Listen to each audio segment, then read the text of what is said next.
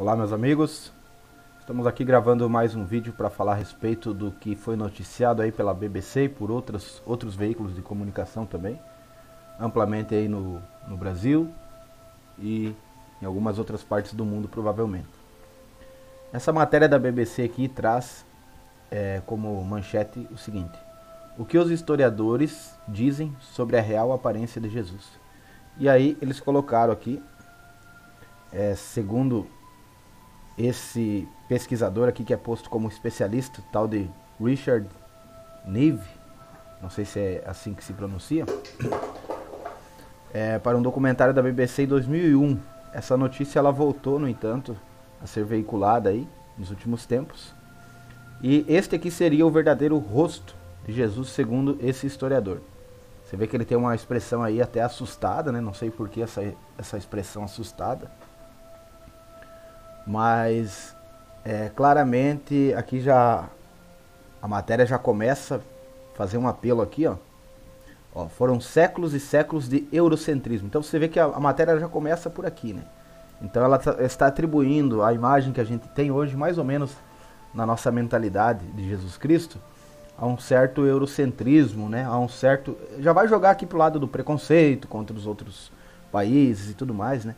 Vai fazer essa pegada mais é, marxista, né? Todos sabem a luta de classes e não são só classes agora, né? Com o neo-marcusianismo, mas também a luta aí de, de, qualquer tipo de diferenças, né? E você vê muito bem que a página já não é lá muito, é, muito assim, vamos dizer, cristã.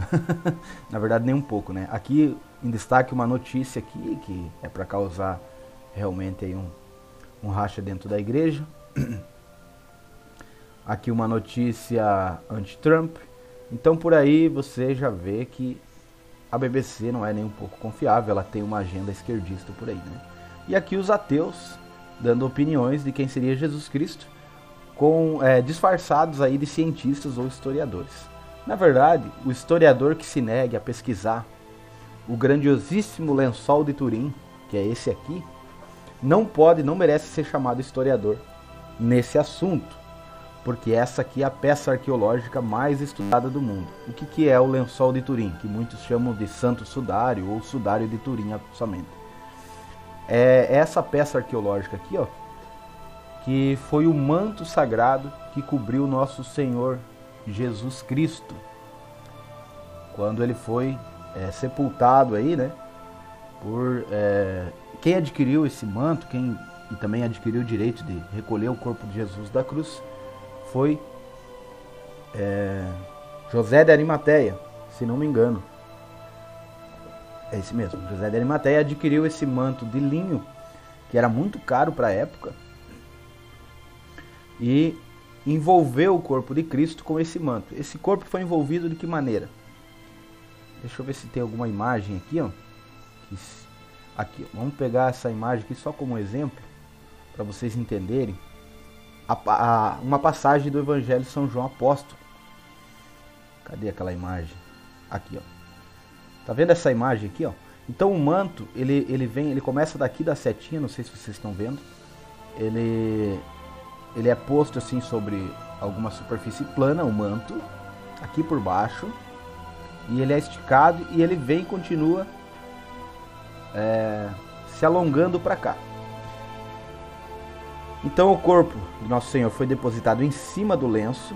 E aí essa parte do lenço que estava aqui é dobrada por cima, por cima aqui do lenço. Então é como se fosse uma, um embrulho, né? Uma espécie de embrulho aqui. Né? Então você estende o pano, semelhante quando você vai fazer um papel de presente. Você estende o pano aqui, coloca o corpo de Nosso Senhor aqui em cima e envolve o lençol ele é inteiro aqui ó como vocês podem ver nessa imagem. Deixa eu ver se tem a outra aqui. Aqui ó. Essa imagem aqui ó. Você vê que ficou aqui a mancha do corpo do nosso Senhor aqui. É um pouco difícil de visualizar façam um esforço. E aqui a parte de trás do corpo. Então ou seja ele foi posto aqui e o manto foi dobrado por cima. E aí em volta do corpo eles amarraram faixas para prender. Quando o apóstolo São João chega e vê que o manto estava envolto. A tradução, na verdade, para o português e até para o latim, ela está errada. Mas se vocês forem nos originais gregos, vocês vão ver que, na verdade, o que São João quis dizer é que o corpo não estava mais dentro do lençol, no entanto, o lençol não havia sido desenrolado. Ou seja, aquele corpo saiu dali sem desenrolar os lençóis, ou seja, saiu dali sobrenaturalmente. Não foi alguém que retirou o corpo e também não foi o corpo que se desatou do, do lençol. O corpo como que estivesse sumido dali, né? E nesse momento desse sumiço, entre aspas, do corpo, é que aconteceu a gravação dessa imagem aqui, ó. Essa imagem aqui. Espera lá, tô atrapalhado hoje. Essa imagem aqui, ó. O que, que é isso? Aqui vocês não liguem para essas imperfeições aqui, ó, essas 4 e 8 aqui, ó, 4 aqui e 8 desse lado, que são marcas de fogo, porque o, o lençol sofreu dois incêndios já. Tá. Mas aqui vocês verem que tem a, nitidamente aqui o, a marca de um homem deitado. Aqui a parte da frente e aqui a parte de costas. Essa o que causou essa imagem não foi como se pensava há muito tempo, é, contato, é, uma espécie de suor por contato, porque senão o rosto teria ficado deformado. É, cientistas da NASA em 1980 concluíram, conclui, não é a NASA, tá pessoal? Cientistas que trabalharam na NASA, que estudaram o lençol, uma comissão que foi formada, concluiu que essa imagem foi formada por uma radiação de luz. E Tamanha foi essa radiação que seria o equivalente a uma explosão de uma bomba nuclear, da bomba de Hiroshima, por exemplo. Maior ainda, superior que a bomba de Hiroshima. E que essa radiação se deu em no máximo duas milionésimas de segundo, ou seja, foi muito rápido. Porque se fosse um pouquinho mais, três ou quatro, teria desmanchado todo o lençol, teria queimado todo o lençol e um pouco mais teria destruído o sepulcro, toda a região. Certo? Essa, esse foi o estrondo, talvez, provável, que é relatado nos evangelhos, né? Acontece que a imagem, originalmente, ela está assim no lençol. Ela está assim. É um negativo fotográfico. Isso aqui é, um, é uma imagem em negativo que os cristãos guardaram durante muitos séculos. No final do século XIX, quando inventaram a fotografia, um homem chamado Secundo Pier, ele fotografou o lençol, ele conseguiu autorização da Santa Sé para fotografar o lençol. Quando ele revelou a imagem, apareceu o positivo. Apareceu essa imagem aqui, ó. Que eu vou pegar o corpo todo, ó. Essa imagem foi a que segundo Pier teve do lençol de Turim. Aqui a parte da frente e aqui a parte das costas. Então, o verdadeiro rosto de Jesus Cristo é esse aqui, esse aqui, tá? Esse aqui já é uma uma espécie de melhoramento que eles foram fazendo, né? Os cientistas foram fazendo até chegar nesse resultado aqui. Porém, aqui já há intervenção humana, então já não é 100%. Mas essa imagem aqui, ó, é a verdadeira imagem, é a, a imagem mais real, e é a imagem real, na verdade, que nós temos de Jesus Cristo. Se você for comparar, não tem nada a ver com essa aqui, né? Não tem nada a ver com essa aqui.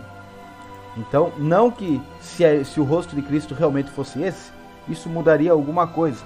Mas é, é, triste quando a mídia ignora um fato, ou os, os, ditos cientistas ignoram um fato tão evidente como o cidade de Turim. E aqui, é, é, nessa imagem principalmente aqui, ó, que foi a que saiu em 2001 na revista, é nítido, nítida a intenção aqui de, de, de, como é que eu posso dizer, de diminuir né, a, a majestade de Nosso Senhor. Porque, porque essas expressões assustadas aqui, né? Essa cara preocupada como se fosse um, um coitado, né? Volto a repetir, não que a imagem de, de Cristo seja o essencial para a nossa fé, mas nós não podemos aceitar quando eles querem diminuir. Agora, mudando um pouco, uh, continuando um pouquinho no assunto, nós vamos aqui ver o que esse matemático disse aqui. O cara é especialista em estatística. Vamos lá. O, o Santo Sud... Desculpa, não é esse vídeo, é esse aqui. Pode-se ver a imagem de um corpo humano. E a pergunta mais pertinente é se o homem do sudário que deixou esta imagem pode realmente ser Jesus de Nazaré. Isto é, o personagem histórico que viveu há mais de dois mil anos. Pode-se tentar responder a esta pergunta em termos científicos, utilizando o cálculo das probabilidades. Probabilidade de que os dois homens, o homem do sudário, do qual temos uma imagem, e Jesus de Nazaré, do qual temos um relato literário que fala de sua paixão e a tortura que sofreu até sua morte na cruz, possam ser realmente o mesmo homem. Há muitas características comuns aos dois, homem do sudário e Jesus de Nazaré. Mas examinando as mais importantes, algo em torno de sete ou um pouco mais, pode-se tentar calcular a probabilidade de estas características terem sido as características da crucificação de outra pessoa. Por exemplo, se considerarmos o fato de que se costumava usar nas crucificações pregos, Vou parar um pouquinho o vídeo, pessoal, só para não dar copyright. Assim, ah, inclusive eu vou fazer já uma propaganda aqui, ó. É, esse vídeo foi postado aqui nesse canal, ó, Alpha versus Tutoriais, não sei que canal é. Mas aqui dando um crédito então pro rapaz que postou esse vídeo. Você pode ir lá assistir o documentário completo, que é mais de uma hora. Muito interessante esse documentário, eu já assisti. Muitas das coisas eu já sabia, outras eu não sabia. Tem muitos detalhes, é, é, tem a participação de vários cientistas aí, né? pessoas importantes do ramo da ciência. E por ser um documentário mais antigo, não está tão, não estava ainda tão é, censurado aí pela, pela revolução marcusiana que nós estamos passando nesse exato momento. Beleza? Então vai lá. Mas também cordas, o que era bastante comum, ou então que tenha sido usada sobre a cabeça uma coroa de espinhos que provocou as feridas bem visíveis no sudário, ou ainda que tenha transportado sobre os ombros a parte horizontal da cruz, ou que tenha existido um lençol fúnebre muito raro naquele tempo, já que os condenados à crucificação não eram cidadãos romanos que cometeram crimes e então pertenciam a camadas mais baixas da população. O fato de que o tal lençol tenha permanecido ali por um tempo não superior a Olha só como que ele foi envolvido, que eu estava explicando antes, né? Então aqui depositado, aqui posto o lençol, depositado o corpo, e aqui envolvido por cima. Depois ele vai ser envolvido por faixas em volta. 50 horas, porque ao contrário, a putrefação do cadáver teria danificado a imagem. O fato de o cadáver não ter sido lavado, como acontecia normalmente nos sepultamentos, este procedimento foi postergado, executado mais tarde e assim por diante. Assim, atribuindo a cada uma dessas características um valor de probabilidade de que possam ser de uma outra crucificação qualquer, e considerando que as características são independentes entre si, não influem uma na outra. Se conclui que o que o resultado global, isto é, a probabilidade de que todas as características estejam presentes numa mesma crucificação, é dado pelo produto de todas as probabilidades. Bem, fazendo um cálculo aproximado e dando as probabilidades mais altas possíveis, de modo a diminuir a margem de erro. Chegamos a um resultado final da ordem de 1 por 200 bilhões. Como podemos interpretar este número? É, realmente, isso aqui não tem nenhum cabimento em afirmar que, olha, olha só, a chance de não ser o sudário é uma entre 200, 200 bilhões de chances de ser, ou seja, é uma certeza absoluta. Não há como refutar. Isso aqui dentro da estatística é inaceitável se colocar um, qualquer argumento contra isso. Não é, não é aceitável, entendeu? Uma probabilidade de 1 para 10 já é uma coisa monstruosa. Imagine 1 para 200 bilhões. Simplesmente dizendo que se na história da humanidade tivesse havido 200 bilhões de crucificações, apenas uma poderia ter tido ao mesmo tempo as características consideradas. É claro e evidente que é muito improvável que na história da humanidade tenha havido um número tão hiperbólico de crucificações. Sabe-se que a crucificação foi praticada por cerca de um milênio, da metade do primeiro milênio antes de Cristo à metade do primeiro milênio depois de Cristo. E, sobretudo, foi praticada praticada na época romana. E pra... E aqui ele está somando todas as crucificações, inclusive as persas, né? Ele falou sobretudo na época romana, mas não exclusivamente, né? Esse número de mil anos, então, envolvendo todas as crucificações, todos os tipos de crucificações. Lembrando que o método persa de crucificação não era com pregos, não era com cravos, e sim com cordas. Para se ter uma Bom, mas você pode assistir ao documentário completo.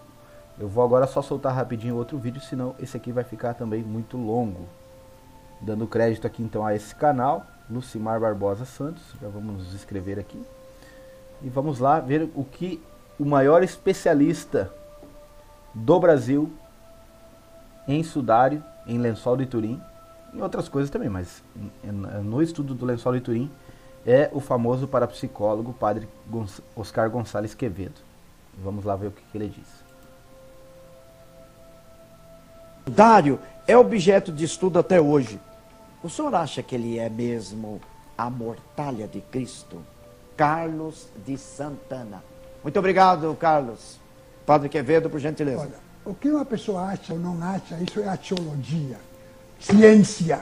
O santo sudário tem sido muito atacado por gente que não estuda, ataca, critica, porque o santo sudário está demonstradíssimo. O site de parapsicologia, www. Exemplo, te, se encontraram, por exemplo, as plantas producen un, uma espécie de... Que, que, o que segrega uma planta. Pólen. Sêmen. Sêmen das plantas. Sêmen também vale, né? É o pólen. No Santo Sudário, sêmen de todos os lugares por onde ele foi passando, até chegar a Torino, onde está agora, sêmen de plantas antiquíssimas que não existem agora, sêmen de plantas da Palestina, exclusivas da Palestina, que não existem agora, está no sudário. Plantas extintas, tá? Essas plantas aí que, que estavam no sudário, elas já estão extintas. O santo sudário é de um tipo de, de linha que não existe mais, que era da época. Se analisa para psicólogos da NASA, com toda a técnica da NASA, dicen que o santo sudario, dicen eses bobocas que non saben e atacan, dicen que foi pintado. Primeiro, como que se pinta em negativo? Lembrando que não foi encontrado sequer algum, nenhuma mancha de tinta no sudário. A imagem não foi formada por tinta. Em negativo. E a NASA demonstrou, e outros, que o corpo de Cristo, morto com todas as marcas da paixão, etc., explodiu. Essa é a palavra, explodiu numa luz muito superior à luz das novas, à luz do sol, à luz da bomba atômica, uma luz sobrenatural. E em duas milionésimas de segundo queimou toda a parte interna, tivessem sido 3 millonésimas de segundo se teria volatilizado todo o sudario, explodiu en relevo e queimou en relevo, en 2 millonésimas de segundo, nariz está máis profundo, as do rostro máis longe, máis toda a figura perfeita en relevo. Se ten convertido agora o corpo de Cristo en relevo con os computadores, ten tirado as marcas do sangue, dos açoites, etcétera, ten colorido estes pesquisadores, queridos teleouvintes e televidentes, o máis bonito da criação. O homem máis bonito. Así se explican muitas coisas. Bom, voltamos ao sudario e en dúas millonésimas de segundo saiu de dentro para fora. Moris eis, que dice o apóstolo San, San Juan, que viu como tiña enterrado e viu que o lençol se aplainou sem tirar as ataduras, porque comprendeu que o que estaba dentro saiu de dentro para fora a través de metajoris eis en un corpo glorioso. Claro, ágil, sutil, impasible, unha luz sobrenatural.